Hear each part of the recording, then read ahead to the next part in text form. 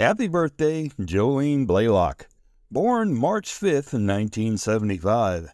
As a model and actress, Jolene K. Blalock is best known in the Star Trek universe for her role as Vulcan Science Officer T'Pol on the Star Trek Enterprise. She also played T'Pol's second foremother, great grandmother, T'Mir, in the Enterprise episode Carbon Creek. She played T'Pol in all 97 episodes of Star Trek Enterprise beginning in 2001 and ending in 2005. Her last day of filming coincided with her 30th birthday.